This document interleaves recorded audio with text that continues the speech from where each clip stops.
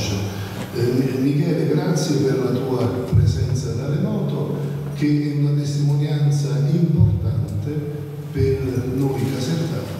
Io che sono casertano in, come dire, come dire eh, integralista, e allora questa cosa mi riempie di, di, orgoglio. Diamo chiuso una parentesi e poi tirami la giacca se vado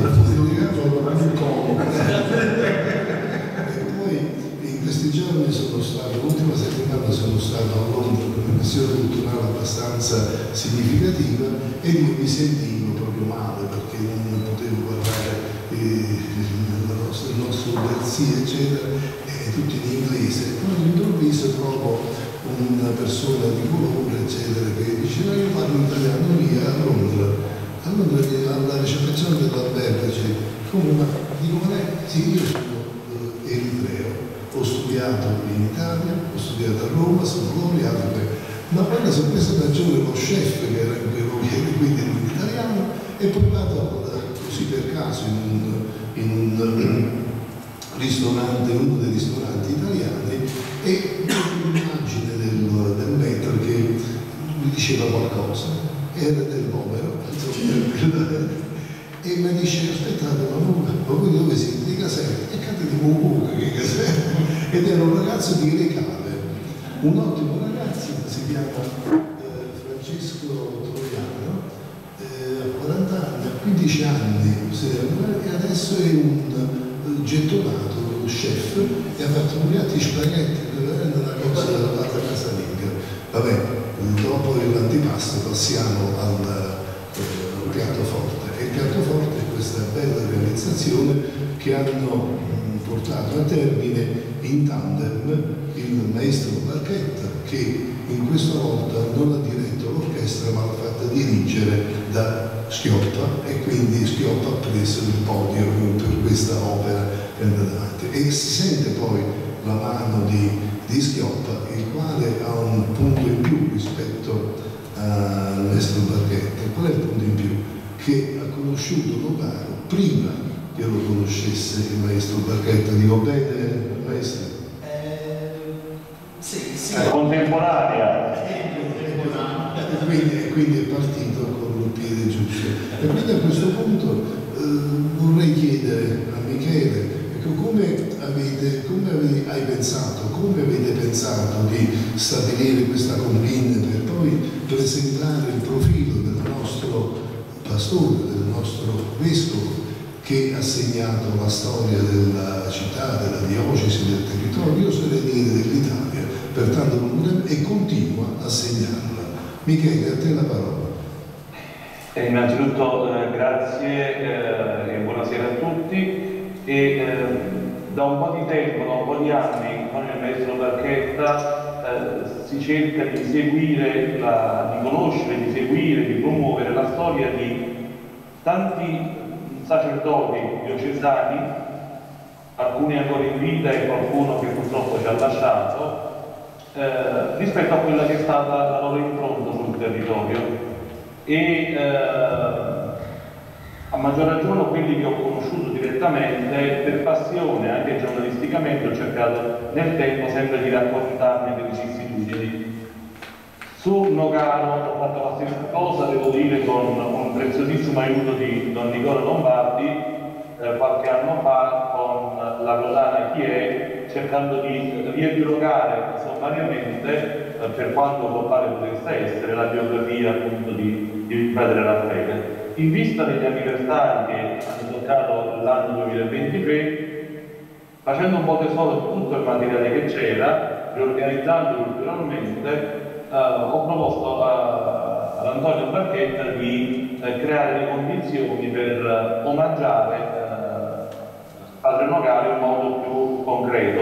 Da qui abbiamo visto insieme gli appunti, le testimonianze, eh, le foto, e, e qui è stato un notevole di tanti eh, capezzani, non solo alcuni dei quali qui presenti, che chi modo chi nell'altro ha arricchito da parte di questo testo, per cui eh, la cura tanto io quanto il maestro abbiamo messo nel produrre questa pubblicazione è eh, la cura di eh, tessitori che hanno cercato di mettere insieme tanti filamenti nati dalle esperienze, dalle testimonianze e dai materiali eh, che hanno a cuore la, la cura del, di Padre Raffaele Logato e, e, quindi hanno consentito a noi eh, in, uh, in propri titoli di, di filare questi ricordi, queste fotografie, eh, questo pensiero e grazie anche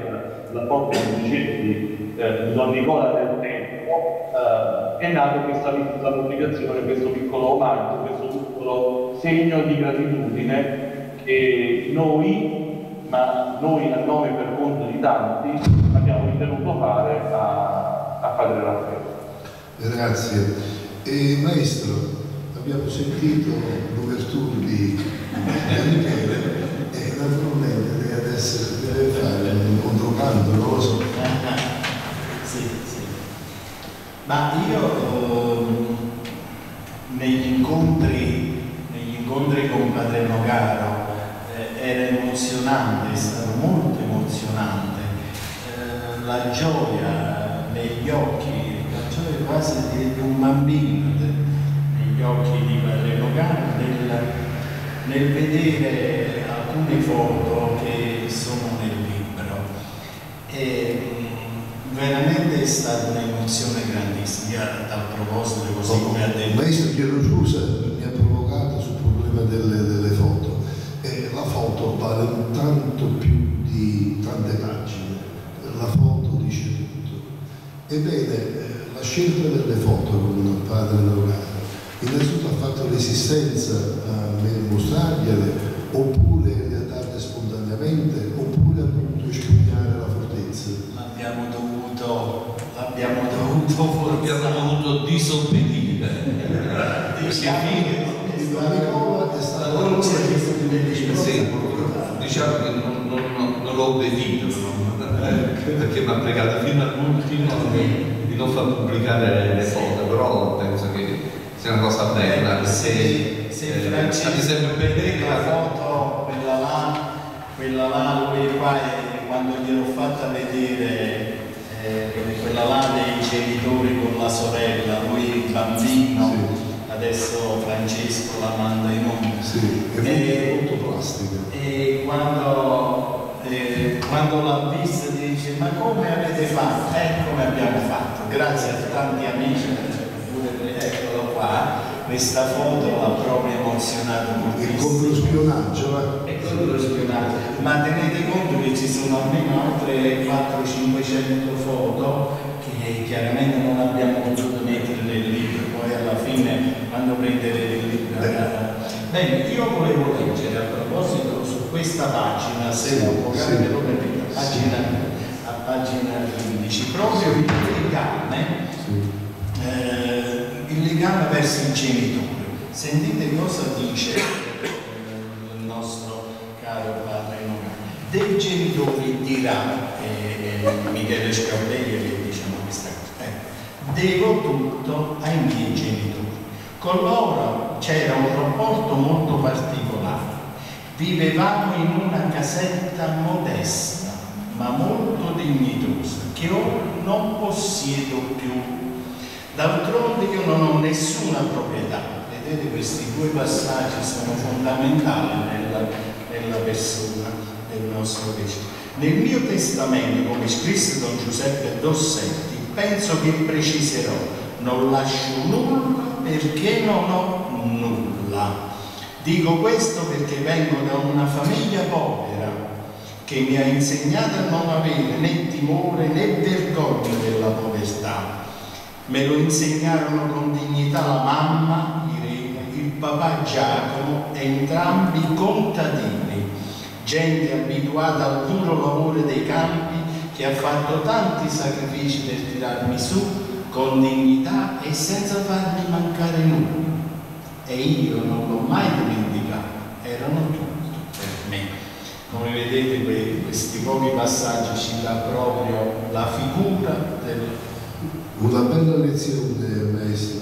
E però nella sua modestia e nella sua serietà, nella sua onestà intellettuale, da queste parole emerge una- un, un valore particolare, emerge un lascito spirituale inestimabile. Non no.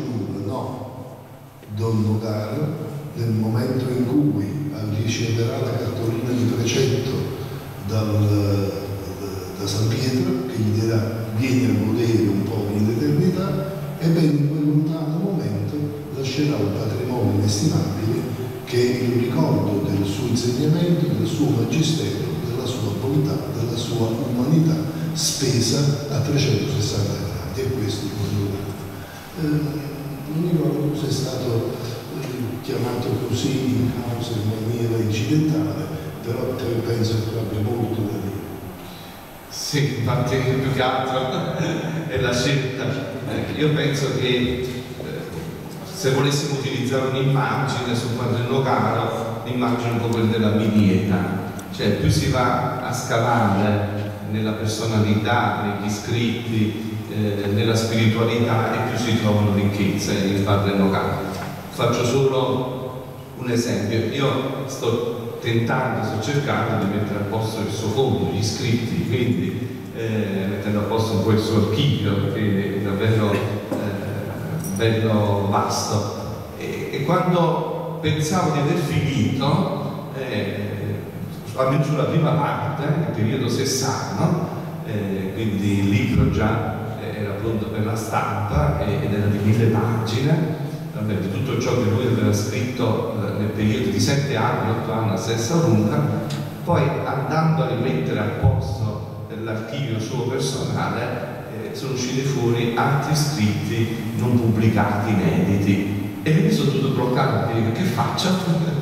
Questi inediti che non sono stati pubblicati, tra cui anche diverse poesie, eh, li metto all'interno del volume oppure no? E allora mi sono reso conto che davvero eh, diciamo, questo emerge l'uomo soprattutto di grande cultura eh, che il padre Nogaro. Questo per dire come eh, l'incontro con padre Nogaro ecco, non lascia indifferente, rimane via sempre arricchito sotto tutti i punti di vista morale, spirituale, eh, culturale. Una delle, poche volte, una delle ultime volte che l'ho incontrato eh, ci ha fatto proprio una lezione di teologia contemporanea, come fosse aggiornato eh, su tutte quelle che sono le nuove tendenze della teologia di oggi e come fosse critico naturalmente eh, di queste nuove tendenze che non mettono appunto il Vangelo di Cristo al centro della riflessione eh, teologica. Grande, eh, un grande patrimonio, eh, però ecco io vi lancio una provocazione. Eh, la chiesa di Caserta, la città di Caserta sarà in grado ecco, di assimilarlo, di, di farne tesoro questi, questo grande patrimonio, questa testimonianza che ancora rende evangelica eh, davvero ogni giorno, o diciamo così come succede spesso nella storia in genere, anche nella storia di questa città, ecco, poi tutto andrà nell'oblio. Come don eh, come padre Domaro, la chiesa di Caserta non ha avuto molti poeti o scrittori. Per quanto mi risulta in storia patria sto realizzando una, una, un settore della biblioteca che divide di 4.000 volumi, la storia di Caserta non deve scarsa. Ebbene, c'è un settore in costruzione che per il momento è dominato da Raffaele Naturalmente quello che ho messo insieme, prendendo un po' nella mia biblioteca, un po' catturandolo in giro, è notevole. E dico chi volesse accedere, ha interesse a mettere, a conoscere queste opere di Monsignor Notaro, siamo disponibili perché tu le abbia già destinate tutte. Quindi quello che è possibile è possibile. Certo che non ha avuto, come dicevo prima, molti predecessori, dedica alle lettere lui nel suo corso di studi, ha fatto un corso di studi specifico. Laureato in lettere, a Padova. Laureato in lettere, quindi dice molto. Un, un precedente con Monsignor, eh, eh, Monsignor Mancino, che è stato il vescovo della mia gioventù che mi ha cresimato, e Monsignor Mancino ha lasciato veramente un tesoro di opere eh, letterarie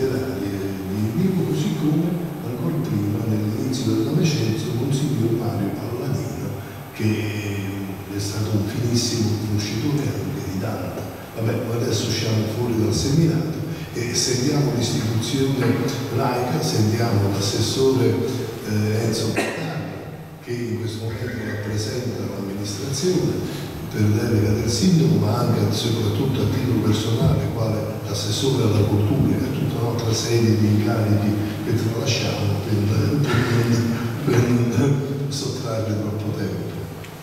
Grazie Alberto, io porto comunque il saluto dell'amministrazione comunale, del sindaco Carlo Lavino per questa iniziativa molto meritevole che abbiamo inteso ospitare qui in questa sede nuova, tra virgolette, nel senso che è nuovamente utilizzata per iniziative culturali. Era uno spazio non aperto alla città che invece mi sono impegnato a recuperare perché è uno spazio anche ritengo confortevole dove incontri di questo genere possono trovare ottimamente allocazione. Quindi alla richiesta del maestro Barchetta abbiamo risposto subito di sì perché ci interessava molto il tema, diciamo, un lavoro importante quello che era stato fatto a livello editoriale e ci sembrava appunto la sede giusta per poterlo presentare. Quindi grazie a voi, a tutti coloro che vedo qui ad ascoltarci. L'istituzione che deve dire? L'istituzione casertana innanzitutto che ha dato la cittadinanza onoraria a Raffaele Nogaro. Questo va detto in una pietra miliare. Alberto, tu sei una persona molto rispettosa delle istituzioni e credi molto nei documenti che le istituzioni producono. Quindi nel momento in cui la città di Caserta si è espressa dando la cittadinanza onoraria a Raffaele Locano, gli ha dato il massimo riconoscimento che l'istituzione comune poteva dare a un cittadino. Questo però è un dato freddo. Il dato caldo invece è che Raffaele Logano io non avrei la preoccupazione cosa rimane a tutti noi che abbiamo conosciuto, abbiamo operato con Raffaele Logano. Presta tantissimo, presta tantissimo, c'è tantissimo perché lui veramente è stato una figura carismatica. Chi di noi ha avuto la fortuna di interloquire privatamente, a, come dire, rimane soggiogato dal suo magnetismo, dalla sua capacità di ascoltare e soprattutto poi di dire. Eh, la sua bontà, la sua capacità di porsi comunque a livello dell'interlocutore, non mettendolo mai a disagio, sono delle qualità straordinarie, eccezionali, vanno al di là dell'umano per certi aspetti. Quindi eh, molti fortunatamente hanno avuto modo di eh, vivere delle esperienze con lui e sicuramente questo insegnamento lo porteranno con loro. Poi, ecco, la istituzione, devo ricordare il Tedeum, che riecheggiavano nella cattedrale di Caserta il 31 dicembre, amministratori di una parte politica, amministratori di un'altra parte politica, siamo beccati, diciamo così, i suoi tuoni e i suoi fulmini, insomma, che erano ovviamente a fin di bene, erano per scuotere le istituzioni cittadine a rendere al meglio a venire incontro alle esigenze reali che la città aveva, penso alle cave, penso all'università, cioè non è che poneva problemi di secondo ordine o minori, poneva problemi centrali che a volte la politica imperante, ripeto, di qualunque verso essa fosse, la politica imperante dimenticava nella propria agenda i temi fondamentali della città. E lui il 31 dicembre ce li ricordava. E come ce li ricordava?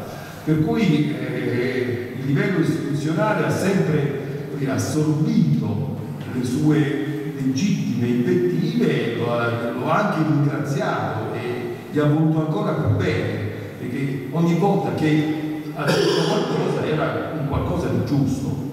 Ovviamente non tutto nelle speranze di padre Logano si poteva realizzare brevemente, è anche vero che molto si sta realizzando estremamente lentamente, però insomma, eh, fortunatamente in alcuni aspetti hanno trovato una, una, via di approdo, io non voglio essere ottimista, non lo sono, però sempre vedo una via di approdo e quindi diciamo che eh, le sue parole sono valse sicuramente.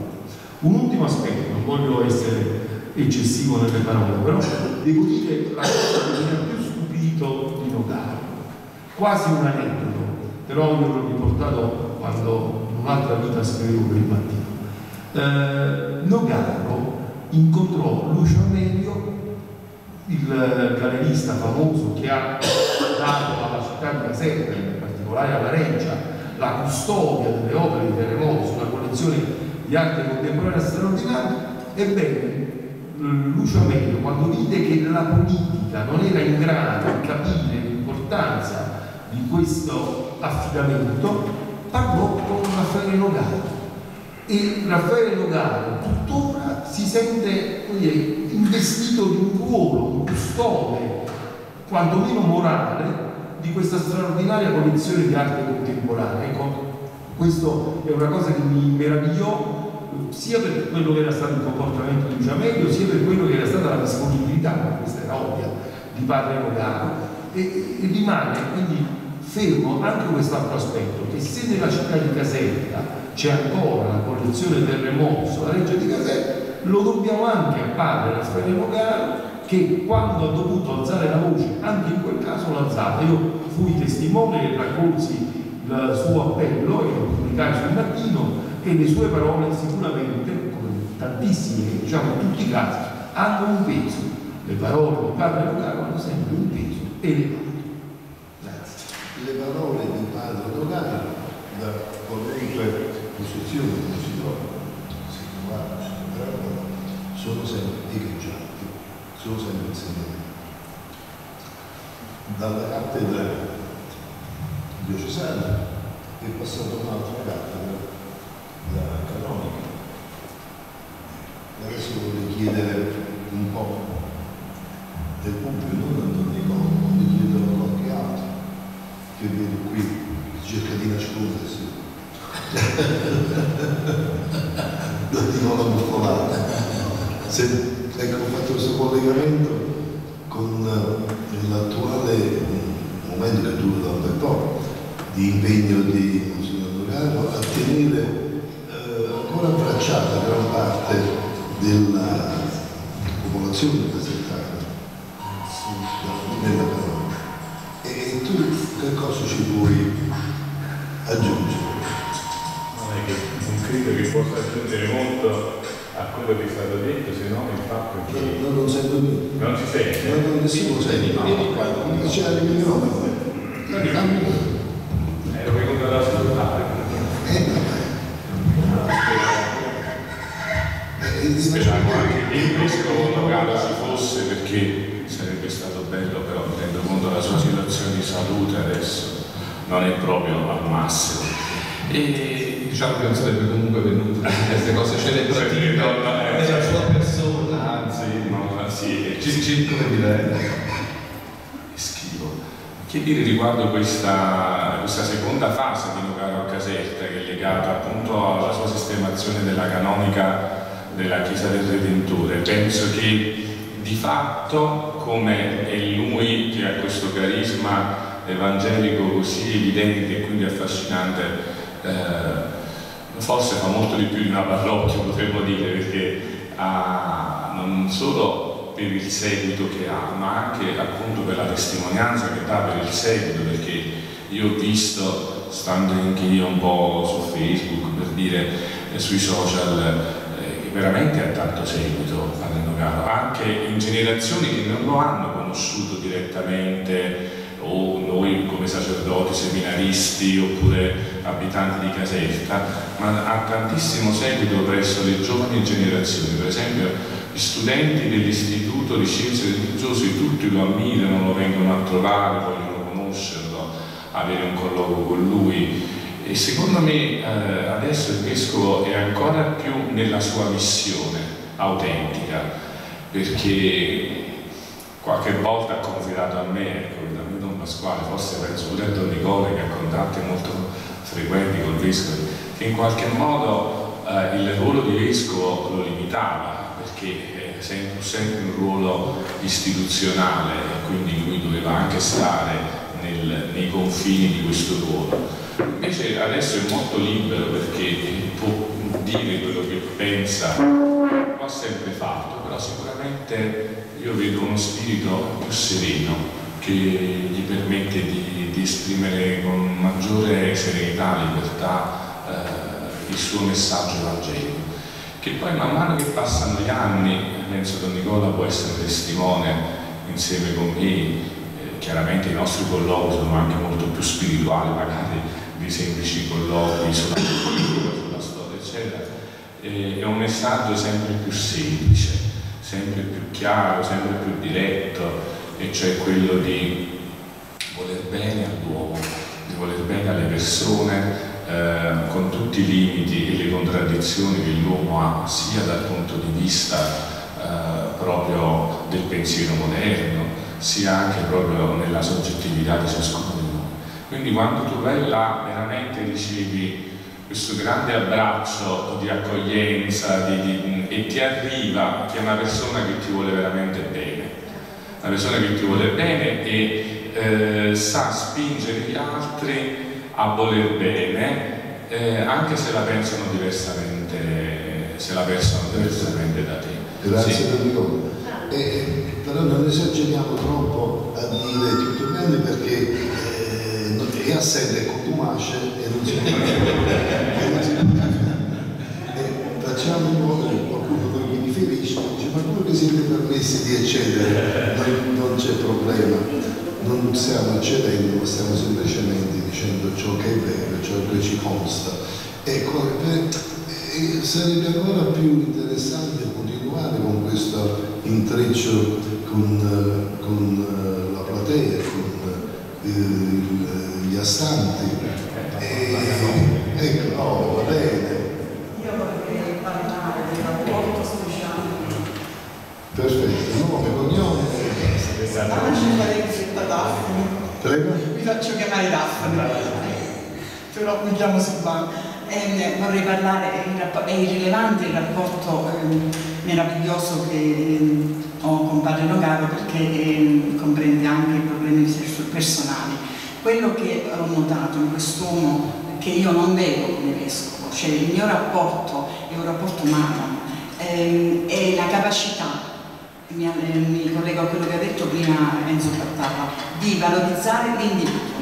Cioè lui tende a valorizzare tutti, le persone, riesce a trovare il positivo in tutte le persone e questa è una dote perché poi trova anche, non inventa, non, non ha- non è un adulatore, ma cerca di far eh, risaltare il positivo delle persone. Quello che voglio dire io invece a Don Nicola Lombardi, non so se, se avrà un seguito tutto il lascito spirituale, specialmente che, che sta lasciando da quando è venuto a Caserta, ma con sicurezza so dire per testimonianza diretta che quando sono andata a Gradisca di Sedeviano, ci sono andata proprio per vedere dove era nato quest'uomo che, che per me rappresenta l'unico punto di riferimento da quando sono nata, coerente. Ne ho conosciuti tanti di fermi, ma tutti hanno perso, invece Padre Nogaro no, per la sua umiltà, la sua coerenza, tutti i lati positivi che io non riesco, il lato negativo che gli trovo è la bontà eccessiva, però la bontà oceano non c'è, quindi non è neppure un lato negativo. Andai a Gradisca e fui coinvolta da questo paesino piccolissimo. Mm, eh, entrai in un bar, in un bar fuori da un bar era scritto lasciamo vivere i sogni, quindi pensai per rinnovare è nato in un paesino pure a Caserta ci sto rubando con queste scritte così ehm, romantiche, così ehm, belle. Ehm, chiesi a due giovani donne ehm, se conoscevano Valeno Galo pur prevedendo che essendo nato via dal, dall'82 da, da, dal suo che non avessero loro mi dissero subito, si misero a disposizione che c'erano tre persone dell'età più o meno di padre che avrebbero parlato con me. Mi dovete credere, non finivano più di parlare, i italiani sono molto riservati, sono molto schivi e sono un po' diffidenti inizialmente, non, non, finivano più di parlare di padre Nogaro. Li ho fotografati, ho portato la foto a vedere, li ha riconosciuti subito e, e quello che mi ha colpito di, di, tutto quello che mi hanno detto, che mi hanno detto, anche il motivo per cui era stato rinviato in provincia di Caserta quasi come una punizione per disobbedienza al vescovo di allora, eh, sono fatti che lui racconta, perciò li dico. E, quello che mi colpì è che sottolineavano il rapporto che padre Nogaro aveva avuto con i genitori, nel senso che mi disse uno dei tre che si chiama Crescenzo, ehm, mi disse la mamma tutti i giorni dai Gradisca di Sedeliano con la bicicletta sotto la pioggia, sotto i temporani, sotto le tempeste andava al seminario utile per portargli da mangiare perché a lui non piaceva il mangiare che mi facevano e quando l'ho raccontato questo fatto mi ha sconvolto perché la famiglia campana, la famiglia meridionale e io me la immaginavo così, ma il friulano veramente ha una natura diversa, lo so perché la mia migliore amica è di Venezia e Giulia, quindi conosco benissimo, mi ha insegnato da Mario gli attori, Pasolini, Dovizza, tutti gli scrittori che io ho imparato da Mario a 13 anni tramite questa amica che ha vissuto poco tempo a Caserta. E praticamente, e quando io lo raccontai, lui che ha adorato la madre in prima linea, eh, mi ha detto Silvana, ma anche papà faceva così, non solo mamma, cioè non l'ha negato e, e, e, ha confermato questo fatto che, che mangiava malissimo, lui era contentissimo quando i genitori mi portavano. Per cui dopo, dopo tanto tempo, dall'82 al 2016, io sono stata lì a settembre del 2016, dopo un mese che era morta la sorella Ercolina, infatti mi dissero al cimitero, perché il cimitero rischia è bellissimo, è un bellissimo cimitero, la passione, cioè non ho mai visto un cimitero così, perché anche in Svezia, ma in Italia non ho mai visto un cimitero così bello. E le persone che incontravo che mi sembravano suoi coetanei, le avvicinavo e dicevo, vengo da casetta dove c'è il vescovo Emerito Friano, tutti, e perché non torna qua? E perché non lo so per cui, per cui dopo tanto tempo avevano ancora nostalgia di lui e mi hanno raccontato episodi proprio intimi della sua vita. Infatti, infatti eh, c'è sta eh, qualche foto all'interno del libro dove appunto Nogara torna a Gradisca magari Francesco se puoi mettere quelle foto, qualche foto di quell'incontro che lui ha avuto con i, i suoi vecchi concittadini a Gradisca. Io oh, prima di, mm, di, leggere qualche altro versetto... se lei legge il libro dove leggeranno? No, no, ma io tutto non lo leggo. Eccolo qua, questa, questa, è, eh, questa qua è la foto dei suoi, dei suoi coetanei al liceo e poi c'è quell'altra, il gruppo quando lui è andato da vescovo, da vescovo a, a Gradisca. E, e io volevo, volevo precisare anche eh, qualcuno, qualcuno mi ha chiesto, ha fatto la domanda esplicita, dice ma quanto costa questo libro? Il libro non costa niente, tanto è vero che volutamente non abbiamo messo il prezzo, non abbiamo messo. Il libro è stato stampato grazie al contributo di tante persone anche qui presenti, dal contributo dello stesso Michele, Michele Schioppa dell'Associazione Barchetta. Quindi voglio dire, il libro non è in vendita, non ha un costo, ci sono i libri, così come, come diceva un grande santo, chi può dona, chi non può prenda, ma assolutamente no, il prezzo non ci sta, poi alla fine dipende chi, chi può dona, chi non può prenda. Noi abbiamo tutto ciò che riusciremo a recuperare e, e, già con Michele, magari poi interviene anche un po' Michele, tutto ciò che riusciremo a recuperare sarà speso per una ristampa soprattutto della parte fotografica perché vi ripeto abbiamo più di 500 fotografie ancora non le abbiamo potute mettere tutte e, e questo io devo ringraziare non faccio nome perché sarebbero tante persone che si sono prodigate per far far avere questo materiale anche da Gradisca. Quindi eh, questo ci tenevo a dire. Michele, non so se vuoi aggiungere qualcosa su sì, questo argomento. So, beh, sostanzialmente come diceva appunto Antonio, eh, oramai eh, per la pubblicazione che vedete lì eh, il grosso oramai l'abbiamo assolto c'è qualche altra che cerchiamo di recuperare anche con i contributi di YouTube. Eh, in ogni caso tutto ciò che verrà eh, recuperato sarà eh, funzionale, sarà finalizzato alla, alla ristampa. Del resto ehm, chi mi conosce sa che anche con le cittadinanze e pubblicazioni, pubblicazioni vanno sempre in omaggio alle vendute. La stessa cosa fa l'associazione Barchetta tutte le sue pubblicazioni si cercano a monte dei finanziatori o comunque dei distributori o l'associazione stessa che si accolla i costi e vengono distribuite. Questo è un modo che eh, dovrebbe contraddistinguere anche la, la volontà della promozione eh, di un'identità, eh, di una cultura o comunque di una persona come in questo caso di eh, Padre Raffaele. Volevo sottolineare proprio rispetto a questo aspetto come eh, per quanto mh, da qualche anno sia a distanza, come eh, voi, o quasi totalità dei presenti, eh, sapete bene, continuo eh, con l'aiuto di tanti eh, nel cercare di ricordare, eh, studiare, valorizzare e pubblicare la storia di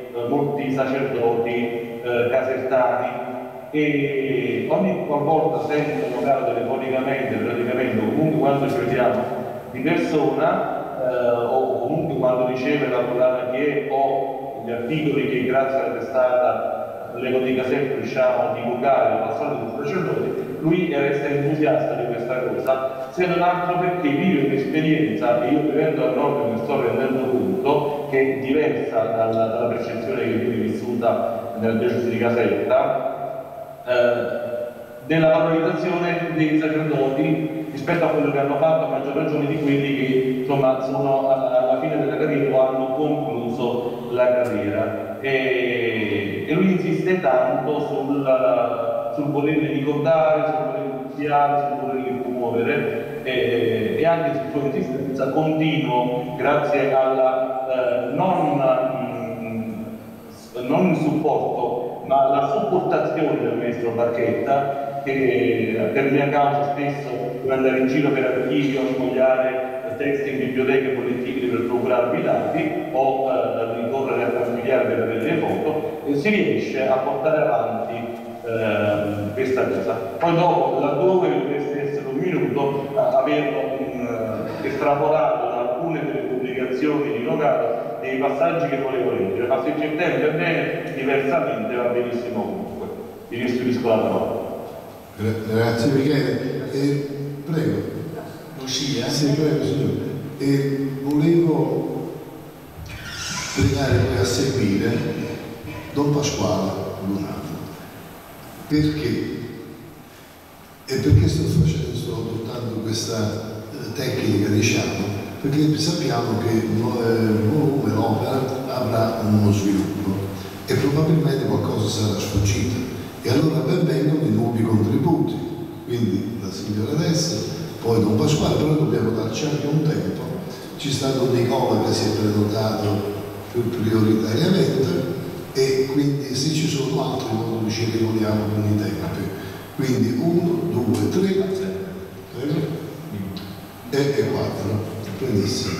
Allora, io non sono io autorizzata a dire grazie a questi due giovanotti, a Michele e a Marchetta, però sento il dovere di dire grazie a loro, perché eh, hanno avuto il coraggio di osare e di portare a termine un progetto. Molti, in occasione dei 90 anni di Lugano, volevano eh, fare qualcosa, una celebrazione, del libro non si parlava, però anche, cominciando anche dal vescovo Lagnese, in, in parte insomma in segreto, se vogliamo fare una celebrazione, una ricorrenza, non sono riusciti a superare l'ostacolo Lugano. Voi siete riusciti, nonostante tutto, a portare avanti quest'opera meravigliosa e veramente ognuno di noi eh, ha un rapporto, come diceva Silvano, personale Lugano, eh, e umano di grande valore.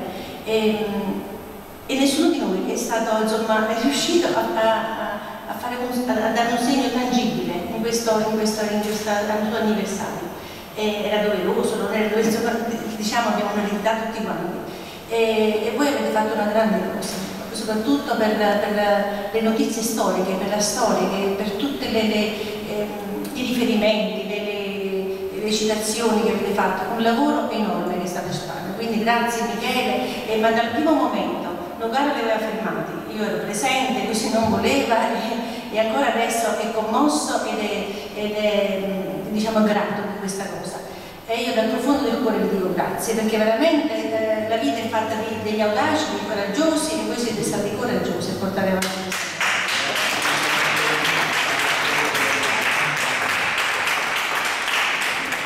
Marzaiolo. Grazie.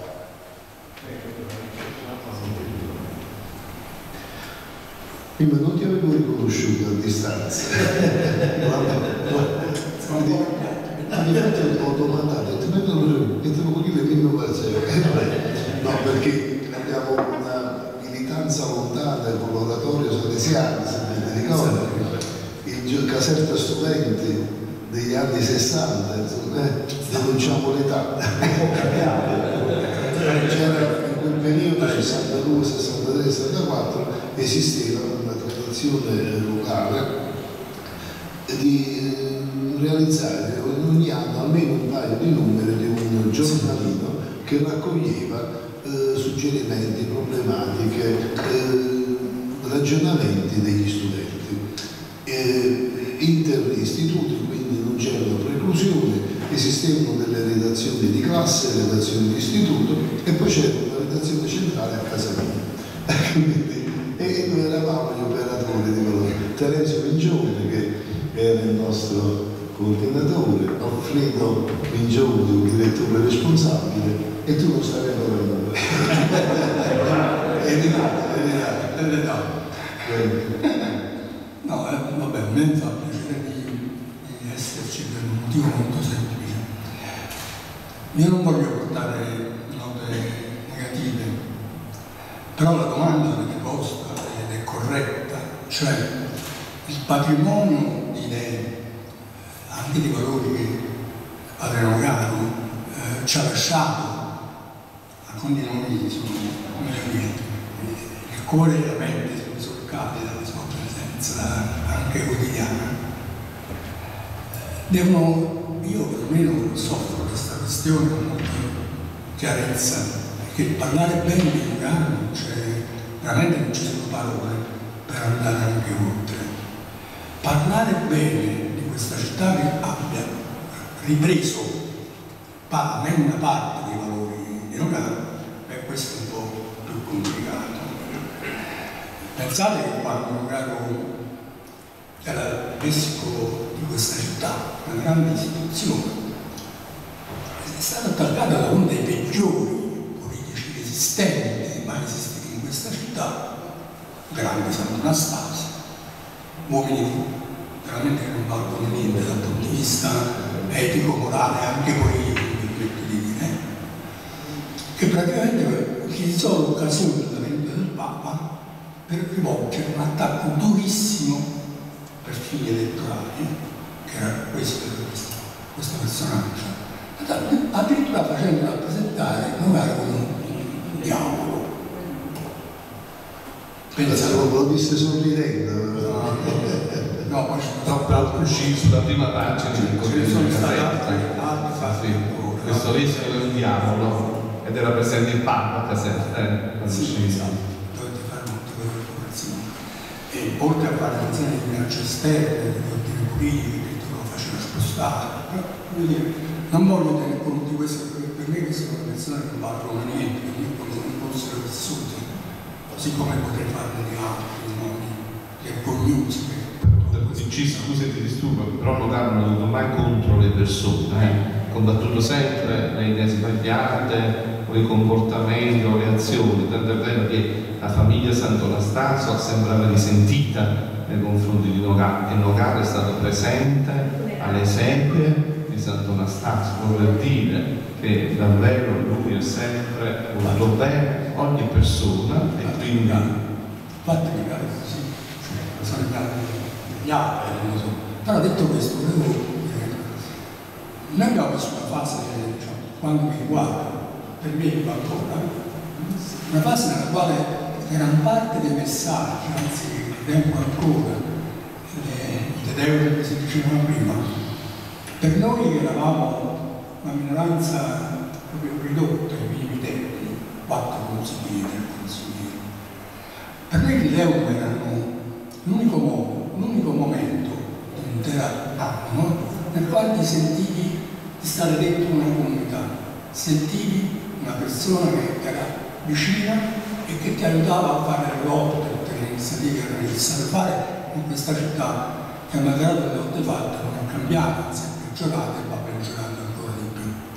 Allora, qual è il problema che viene molto bello, perlomeno nella mia fase eh, diciamo, politica più importante, è stata quella della, della rottura, prodotta non più soltanto non dai partiti, partiti, quali ormai parte di settori affaristici, sono da parte rappresentanti di membri dei e, e praticamente era- c'era questa, questa capacità di, ehm, di riuscire a costruire culturalmente la città casertana. Ci fu una reazione anche popolare, popolare, che andava ben oltre le rappresentanze istituzionali, immaginate la nostra, dell'Italia, ci fu un'iniziativa importantissima che portò una serie, devo dire molti cattolici protestisti che Caserta ha, c'è ancora, ma sono sempre in minoranza, in quel clima di battaglia fu, se vi ricordate l'arresto di un'altra con tutta mezza giunta, e anzi una giunta completa del mezzo consiglio comunale, Alberto questo lo sa meglio di me. Allora, praticamente quando c'è stata questa ribellione c'è stata anche stata questa, questa co- con- con- con- concordanza di, eh, di momenti. Uno, questa cultura della civitas casertana con il vescovo, il vescovo Nogaro con una diffusione enorme e insegnava a noi casertani, anche io sono casertano da nascita, praticamente a noi casertani quali erano i problemi, quali erano le aspettative, i sogni della comunità. Se ci pensate, per esempio, cuori di Farino, i cementificatori ancora oggi, un sindaco ah, come Anci, con la regione Campania, ha fatto capire, sapete come si dice, la coltivazione del e continua lo sfruttamento e l'abbattimento di queste colline. Praticamente sono le colline che sono la colonna naturale, erano la colonna naturale del nostro borgo, medievale, la città. Eh? Allora, che cosa voglio dire? Questi, questi valori riuscirono a fare in modo che diciamo giovani, uno ha fatto un'amministrazione che erano tutti ragazzi, che devo dire, almeno una ventina del Consiglio Comunale giovani, giovanissimi, espressione di varie attività, di varie iniziative, di impegni reali, persone in gamba, proprio sul piano personale, essere, abbiamo lavorato per questo, abbiamo lavorato ridare dignità a questa nostra città che è stata davvero abbattuta in questo senso. Però ecco, la cosa che quindi mi rimane da dire è questo. Io sono convinto che nel diciamo, della nostra città questi valori non potranno essere cancellati, anche diciamo, quando non ci perché probabilmente le pubblicazioni, soprattutto quelle documentari, dovranno serviranno molto di più delle rappresentanze nostre in questi momenti di conflitto, alcuni potrebbero solo vergognarsi e parte di questa, di fare parte di operazione, per esempio scommesse che cambiano la situazione e tranquillamente fanno portare avanti disegni di affaristici di attacco alla bellezza della nostra città. Quindi questa è la, la questione che credo quindi mi piace, il fatto che questa documentazione, altre documentazioni, vari lavori che si stanno mettendo insieme, ci sia, siano non solo stampati, ma siano presentati nel loro valore essenziale, cortesemente, non fatti ma devono cittadini, rappresentanti le situazioni, perché l'unico modo per ricominciare dimensione politica, pensano politica, potere, quella politica, tracciamo tutti, ovunque stiamo, deve essere fatta. E credo che Nogaro ci accompagnerà in questa, questo sogno e la possibilità di un futuro migliore per i nostri ragazzi. Grazie mille. Sono Pasquale Milano canonico penitenziere della cattedrale, l'unico titolo che resta. Ricostituiamo il canonicale. Non c'è più. Non c'è più. Non c'è carnicale, quindi il titolo esclusivo. Sono un prete, basta. Voglio dire questo grazie per questa bella occasione che avete creato per scoprire diciamo, un dono grande veramente eh, di Dio a questa terra. E io ho conosciuto un sono caro quando fu invitato a Caserta Vecchio per la conclusione del mese mariano. Era giovane, un vescovo molto giovane e da come parlava io già lo conoscevo mediante però la pagina settimanale che faceva lui a Sesso dell'avvenire. E mi piaceva come lui scriveva così.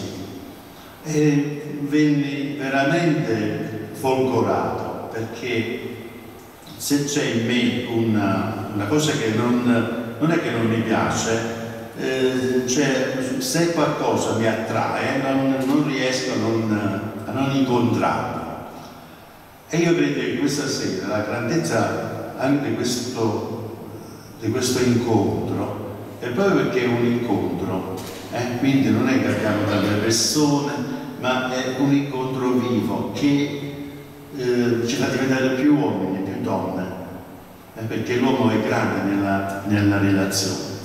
Io subito, quando venni qua, eh, andai subito sopra gli dissi, padre, io ho bisogno che, di parlare con voi così, no? Lui mi, mi diede, mi donò questa occasione di parlare di, eh, di tante cose, anche perché io venivo da un'esperienza della facoltà di Posillipo allora che andavo quasi, diciamo così, sotto inchiesta perché e iniziamo a parlare di ideologie della liberazione con Padre Vanzan nell'allora, no? E il vescovo diceva, te ti, ti mandano le febbri, vescovo, no? Poi dopo piano piano, per cui quando venni in diocesi non, mi, non è che non mi senti accettato, cioè non vedevo, non riuscivo a respirare, perché io credo che con il concilio la Chiesa doveva guardare più in là, mi avevano, diciamo, eh, educati a questo, non a guardare l'orticello, Peter andare al di là. Poi gli devo dire grazie perché io ho fatto il parroco a, a tutte e due le parrocce di San Nicola per 30 anni. Sono stato a San Nicola e ogni giorno morivano persone con il cancro, così. E dico ma che succede qua, no? E stanno nelle discariche aveva questi problemi delle discariche, la Uttaro per esempio. Ma mi sentivo un pochettino solo, la notte andai a fare un solo degli infermi, c'era una puzza, e come fanno questi, questi miei parrocchiani a vivere così? Sì, noi chiudiamo la, la, le finestre, la notte l'abbiamo verso le 9 e le 10. No? Allora lui mi è stato molto molto vicino, insieme anche all'ex Zanotelli, il giorno mi disse io vengo a celebrare la messa e dove? Andiamo nella discarica. Vennero un sacco di persone e questo vengono nella discarica. Mi sembra che la discarica Mastroianni, le cose di questo genere qua, quelle verso Maddaloni, no? Eh, quella là. Ed è stato veramente quello un momento per, per conoscere ancora di più, diciamo, non tanto questa questa figura, ma una, una parola di Dio vivente. Perché Dio parla attraverso l'uomo. Noi chissà eh, se c'è questo. Quindi per me, anche per l'università, noi dobbiamo molto, moltissimo, se non tutto, a lui. Perché è molto importante che ci sia stato questo scioglimento culturale che adesso dobbiamo cercare di gestire, di portare avanti, di umanizzare sempre di più, perché noi abbiamo delle bellissime occasioni, delle bellissime opportunità, una cultura, Caserta è piena di persone che vivono di cultura, ma viva, e non, non, è che escono in televisione oppure sono portati, ma che, che io incontro, ecco, ogni giorno e termino dicendo che cosa mi ha dato? Eh, Padre Nogaro quando incontri l'uomo incontri Dio. Questo è tutto per me.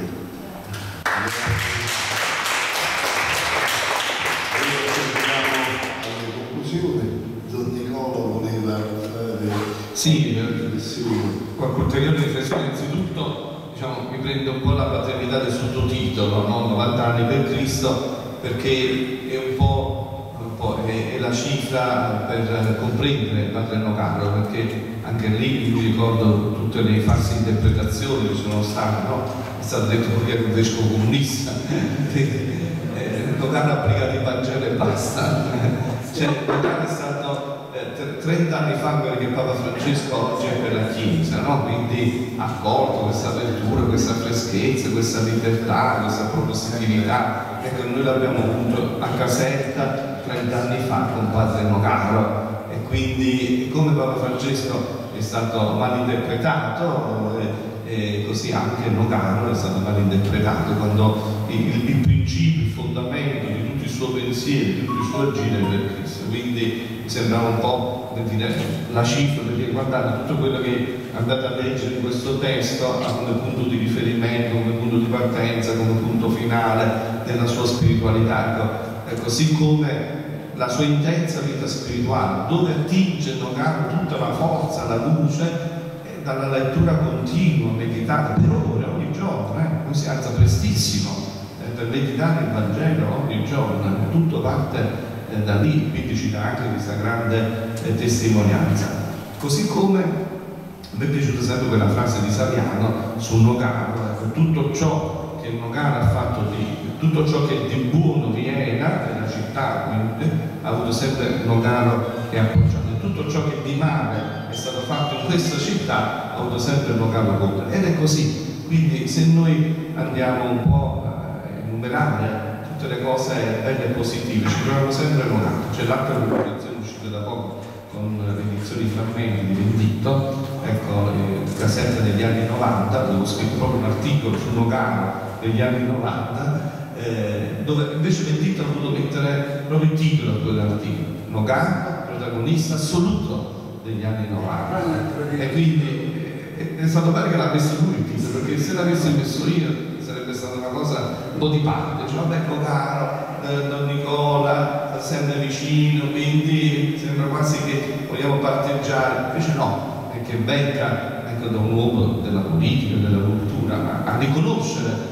è stato il protagonista assoluto degli anni 90 così come chi ha ostacolato Nogaro ecco prima abbiamo menzionato eh, il punto di riferimento della democrazia cristiana di allora, però vi ricordo anche che Nogaro ha avuto grandi oppositori anche all'interno della Chiesa, più volte è stato richiamato, più volte gli è stato proposto di andare via da Caserta, anche per essere prestigioso e per amore di questo popolo ha scelto di rimanere. Quindi eh, allora, tutte le volte che diciamo, sentite po' le cose, no? io ho obbedito al Papa, di qua, di là, sempre scelte personali, quindi nessuno ti viene a costringere eh, eh, di, di, andare, di, di, di, stare e così via. E avuto degli oppositori anche Cossiga, non ce lo dimentichiamo, ci sono i morti di Nassiria, e Nogara aveva semplicemente detto in quella giornata dell'emigrazione del 90, cioè non strumentalizziamo queste morte per giustificare la guerra, mattino invece aveva messo soltanto di non benedire le bare e quindi si alzò un polverone a livello nazionale e Cossina ecco, eh, chiedeva eh, di, che fosse rimosso eh, questo vescovo, oltre poi naturalmente a tutte le lettere ignominiose che gli sono arrivate. Ecco, forse un capitolo, un giorno d'aprile, è proprio l'epistolario di Nocaro, perché lui ha avuto corrispondenza davvero eh, tante personalità, menziono soltanto arte e cultura, come l'amicizia con Cacciari, eh, eh, ma anche personalità della criminalità. Ci sono lettere di Cutolo che ringraziano Caro per essersi avvicinato alla fede, perché quando era lì nel regime eh, 41 bis, se non sbaglio Carinola, eh, Lugaro, perché Lugaro andava a visitare i carcerati siccome andavo a visitare ogni lunedì a piedi in tutti gli, i reparti dell'ospedale di Caserta. E questo dice ecco, tutta la prossimità ha avuto nei confronti ecco, di ogni categoria di persone.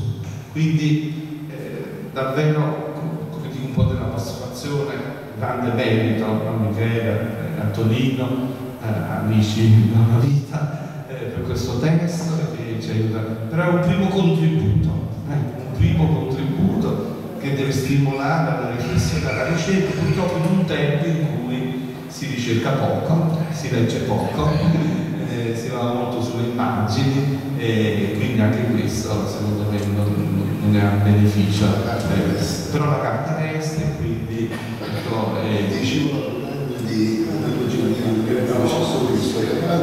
la storia si costruisce sui documenti e il documento è cartaceo o lapideo, però le immagini sono evanescenti. Sì, ma anche su questo è stata una scelta intenzionale di Nogaro scrivere. C'è un articolo proprio di avvenire, eh, è stato menzionato da Don Pasquale, se non sbaglio, che già lo leggeva la perché lui pur di raggiungere il maggior numero delle persone era consapevole che non bastava la predica in chiesa e quindi ha voluto quella pagina i mezzi di comunicazione, ci ha creduto e ha cercato di diffondere il Vangelo attraverso i mezzi di comunicazione. E oggi ci ritroviamo tutti gli articoli di Nogaro, eh, da, da Sessa Lunga fino a, a, diciamo, ad oggi e fino all'ultimo giorno in cui è stato vescovo di Caserta, voglio anche ricordare, ecco, che forse se l'ha ricordata anche e noi lo ricordiamo come l'ultimo vescovo di Caserta, eh, anche questa unificazione la diocesi di Capua eh, eh, della nomenclatura, non sappiamo come andrà a finire. Se appunto. Comunque, lasciamoci con una. Francesco, metti un poco quella foto di San Michele, volevo raccontare 30 secondi proprio questo fatto, io una foto vi faccio vedere, è praticamente eh, quando è stata inaugurata la Madonna del Monte su San Michele, su San Michele. vedete eh, Padre Nogaro Pietro Farina, allora Don, poi Vescovo e via dicendo.